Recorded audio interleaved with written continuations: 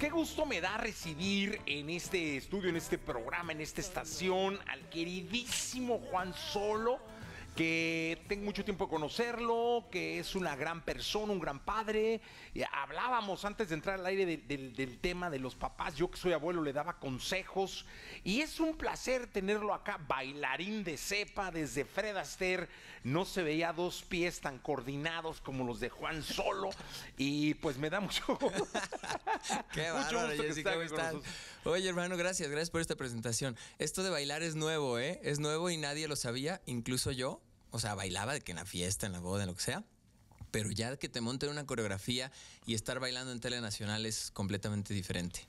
No, si hasta yo me asusté, te soy honesto. O sea, cuando me enteré que estabas, dije, Dios de mi alma, ¿en qué momento este muchacho me salió bailarín? Y más a ese nivel. Sí, no, y la neta es que, por ejemplo, como bien decían en la entrada, comparto con Nikki Chávez, este, que ella es bailarina así de formación y todo, ¿no? Este, se le nota luego, Cuéntale al luego. público quién es Nicky Chávez. Nikki Chávez es hija de Julio César Chávez, es la hija más chica de Julio César Chávez. Ayer fue su cumple, Nikki, si nos estás escuchando, un beso grande.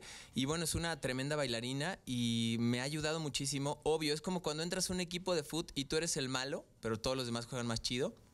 Eventualmente terminas este, haciendo lo mejor, ¿no? Y este ha sido mi caso. Ahorita vamos por la quinta semana y estoy contento porque pues nosotros queremos estar en la final. Mañana bailo para que estén pendientes también por ahí en las estrellas y pueden seguir nuestras redes sociales. Ella es Nikki Chávez 98 y yo arroba soy Juan Solo. Eh, dime una cosa, mi querido Juan. Yo tengo que hacer un alto en esta entrevista. Espero que la producción esté preparada porque tengo que poner las mañanitas el día de hoy. Eh, porque. Ah, no. Y no se las voy a poner a Nicky Chávez porque no la conozco. O sea, le mando un abrazo.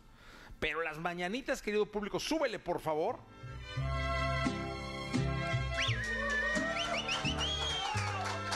Sí, señor. Venga, venga, que se escuche, que se escuche. Estas son las mañanitas que cantó el rey Oye, felicidades, mi querido Juan Solo, es tu cumpleaños. Se me había olvidado, ¿eh? Te lo digo de neta. Ahorita que estaba platicando contigo ya se me había olvidado que es mi cumple. Estoy contento, agradecido con todo lo que está sucediendo. He tenido un año de verdad maravilloso. Este, en enero cambié de equipo de trabajo y me cambió la vida por completo. Arrancamos esta gira del Malquerido que ahora este próximo sábado tiene concierto aquí en Ciudad de México. Fuimos a España, hemos tocado ya en otros 10 estados de la República, andamos de aquí para allá, regresé al teatro, estoy en Las Estrellas Bailan en Hoy, prendo el radio y escucho mis canciones, o sea, todo está sucediendo este año y pues súper agradecido con la oportunidad de seguir dedicándome a lo que más me gusta, ¿no? Que la realidad es que no muchos podemos presumirlo. Oh, exactamente, y además cumplir años trabajando, esa es una bendición, mi querido. Totalmente. Tú también trabajas en tu cumpleaños, quiero pensar. Sí, no, hombre, siempre. Pues aquí no se. Navidad, cumpleaños. Creo que el, el pasar estas grandes fechas trabajando eh, convierte a tu vida en una vida especial, porque más, y como dices tú, trabajas en lo que te gusta. Imagínate, traba- trabajando en radio, que pues, ha sido una vía de promoción para tu música durante mucho tiempo, con, eh, en una estación donde eres tan querido como en Ex, en un programa donde eres muy querido.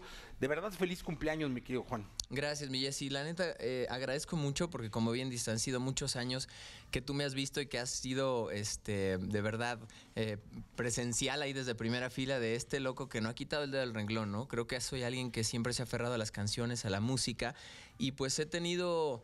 eh, altas, bajas, momentos increíbles, otros no tanto, pero al final yo no me veo haciendo otra cosa, ¿no? Sí me veo expandiendo este sueño a lo que te decía, ¿no? Al teatro, al baile, pero no me veo como alguien que deja de cantar, más bien al revés, me veo cada vez más vistiéndome más formalmente hasta que termine de smoking con una big band detrás de mí cantando mis canciones. Ah, qué maravilla, la verdad es que es, es espectacular. Y esa obligación que luego tiene quien es creativo, quien es ansioso, eh, quien es inquieto de estar sacando y sacando música, de estar mostrando su inspiración, te lleva a seguir, además de recorriendo el país, sacando música, Juan. Sí, ahorita traigo una rola nueva junto a los Claxons, se llama Villano. Este, esta canción ya había salido en mi disco de Malquerido que saqué el año pasado y que justo habíamos presentado en el Teatro Metropolitan.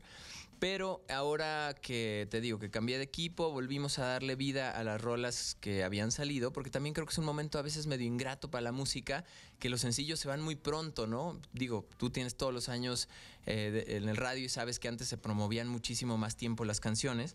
Y bueno, a mí me gusta mucho también como que no tirarlas de que ya pasaron y bueno, ya. Entonces le hablé a los Claxons, hicimos una versión de villano que me encanta, que está disponible en todas las plataformas digitales y eh, también, por supuesto, que sonando en Exa. Y entonces como que dije, bueno, le voy a dar bola a esta rola y aprovecho que salgo y promociono mi concierto del próximo 9 y pues aquí ando platicando de Villano, de esta colaboración con Claxons y pues sonándola donde me dejen.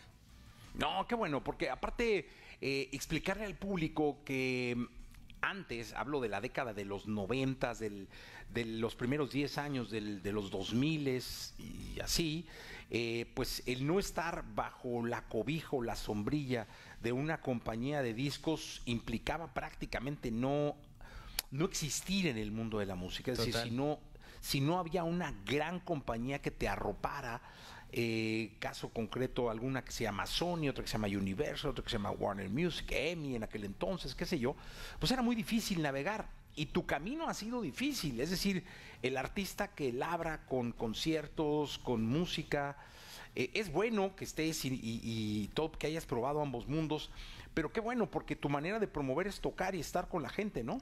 Sí, yo, yo sí creo algo muy importante. Al final llegaron las redes sociales y qué padre pero no, hay nada que haya suplido el vernos a los ojos, el que tú vivas la emoción de un concierto, el que te sientes en, tu butaca y al otro lo ves entregarse cuerpo y alma. Me acaba de pasar el fin de semana que fui a un concierto y me fascina ir de espectador, ¿no? Como que digo, esto, esto no hay forma de que te lo transmita una cámara. Aunque estés en tu casa y el Dolby, el digital, no hay forma de que esta emoción se transmita. Mientras eso nos dure, yo voy a seguir buscando dónde cantar escenarios para pisar. Y pues al final, insisto, siempre ando y he andado con mi guitarra colgada a la espalda buscando cómplices, oídos, ojos para este sueño. Y si hay personas que me están escuchando por primera vez, los invito a que me sigan en arroba soy Juan Solo, en todos lados, que estoy ahí 24-7 pendiente de mis redes. Oye, Juan, dime una cosa, este asunto de escoger las nuevas canciones, eh, ¿cómo, cómo, cómo le va a tu carrera? ¿Cómo, cómo, ¿Cómo vas al respecto? Bien, estoy emocionado porque mira, yo soy alguien que siempre está componiendo. Esa es una realidad, ¿no? Como que es eh, para mí y para otros artistas. Aprovecho, por ejemplo, para contarte que Dame tu amor de María y Yair es una canción que escribí con María. El nuevo sencillo de Guaina que se llama Funeral lo escribí con Guaina. Eh, vienen por ahí cancioncitas con otros artistas que no quiero quemar porque ya sabes que del, plato, a la boca. a la boca se cae la sopa, pero bueno, me están grabando muchas canciones y entonces me pasa que cuando empiezo a juntar rolas para mí, más bien trato de ir descansando en la idea de que esta es la mejor rola que puedo hacer, que puedo componer en este momento, sí, ok. Y entonces como que ahí voy descansando sobre eso y actualmente los artistas que tenemos una compañía de discos, les platico cómo funciona. Hacemos como una carpeta de canciones y le entregamos a nuestro AIR, que es un personaje dentro de la disquera que se llama Artista y Repertorio. Nos ayuda con, con oídos frescos a encontrar esas canciones que se escuchan eh, nuevas, que la temática está chida y, y, nos sacan como de este loop donde para nosotros todas nuestras canciones son increíbles, ¿no? Y entonces como que es un poco confiar en el equipo y en esta gente que pues al final está contratada para hacer esta chamba y que sabe su chamba, entonces yo confío mucho en el ayer de la disquera y le digo, bueno, traigo todo esto, ayúdame a pulir y encontrar un camino. Lo que te puedo adelantar es que viene muy pop. Este, siempre he ido como mucho a lo latino, he hecho cumbia, he hecho, incluso tengo canciones de salsa afuera, pero ahorita estoy como que ajustándome un poquito más al pop porque pues como que esas rolas me empezaron a surgir y me gustaron un montón. Qué bueno. Porque yo creo que mucho el género y el tipo y la forma de la música que tienes que ir entregando tiene que ser con este asunto de melate. Porque el melate eh, tiene que ver con la emoción, tiene que ver con la pasión, con el corazón y con lo que ya conoces a tu, a tu gente, ¿no? Totalmente. Yo tengo tatuado aquí en el brazo intuición y trato de seguir mucho la intuición. E vivo invitando a la gente a que sigamos la intuición. Como que siento que nuestro alma, nuestro corazón sabe. Y lo que te digo es como que independientemente de lo que pasa en la música y de que todos queremos pegar, sea lo que esto signifique, ¿no? Este, eh, todos queremos destacar, sí tenemos que hacerlo abrazados de un, eh, o sea, de una verdad, que el artista tiene una verdad y mi verdad no es la de Mon Laferte, ni es la de Kurt, ni es la de Rymix, ni la de nadie, es la de Juan, ¿no? Y entonces ahora la chamba es, esta es mi verdad, la voy a cantar y además voy a dedicar el mismo tiempo que dedico a escribir, a producir y todo, a buscar a mi gente, ¿no? Y a encontrar a través de redes sociales dónde están esas personas que puedan hacer mis rolas parte de sus días.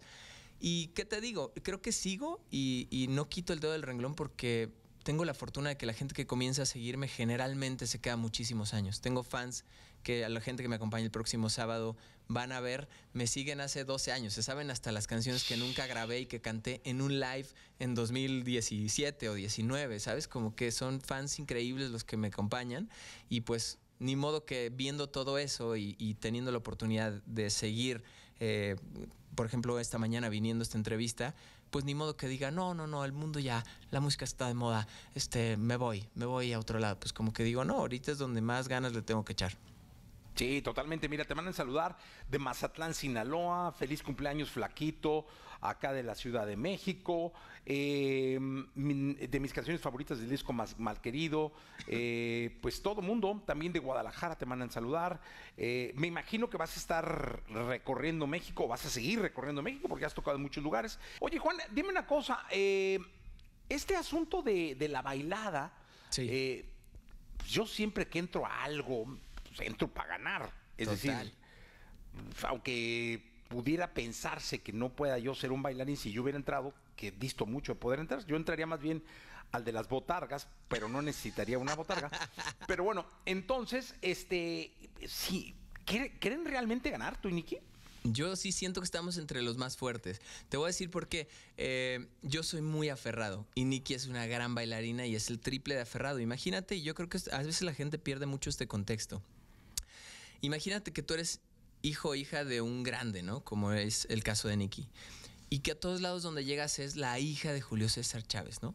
Esto le ha provocado, debo decir, porque llevo un mes de tratarla todos los días, que es súper autoexigente con ella y además es talentosa. Entonces pasa que tiene un gran nivel y me está llevando a que yo explote lo, mejor de mí, ¿no?